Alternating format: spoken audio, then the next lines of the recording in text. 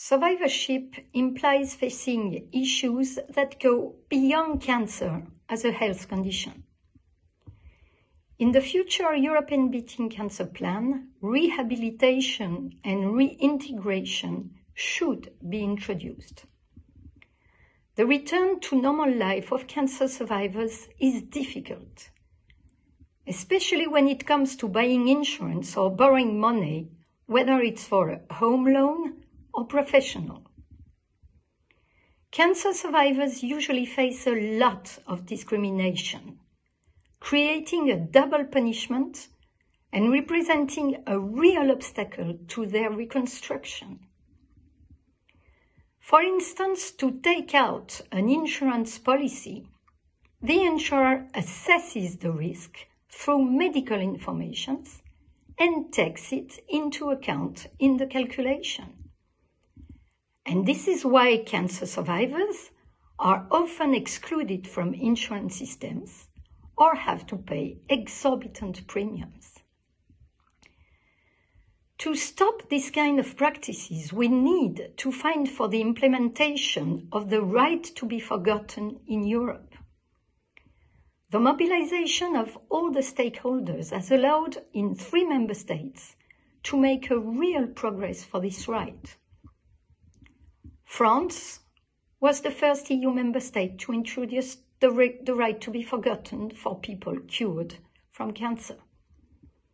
In this country, my country, insurers and banks can no longer take into account the medical history of people who have been affected with cancer. Belgium and Luxembourg have later introduced the right to be forgotten in their legislation. The Netherlands will do so beginning of next year. This is very good news, but it is not enough. To ensure the respect of this right within the European Union, the European Parliament is determined to call with ECO and EORTC for the following actions.